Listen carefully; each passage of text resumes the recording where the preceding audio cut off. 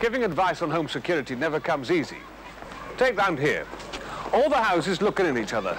Lots of kids around. Mum's at home all day long. A stranger stands at a mile. The result? Hardly any crime at all. But just walk around the corner, a few streets away. Lots of flats and bedsits. People away for the weekend. Easy pickings for the casual break-in merchant, unless you take precautions. If you want to know how secure your home is, ask yourself this question. Suppose you came home one night and found you'd lost your keys. How would you break in?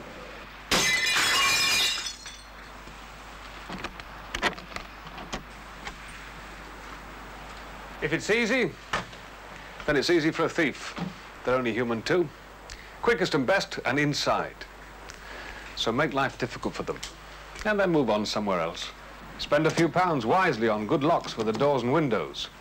You could avoid all the emotional upset and aggravation of a burglary and save yourself thousands of pounds in the long run. So, if you're not sure that your home is reasonably secure, phone your crime prevention officer down at your local nick. If he's not in, just leave a message. He'll ring you back. Or pop round as soon as he can. Okay?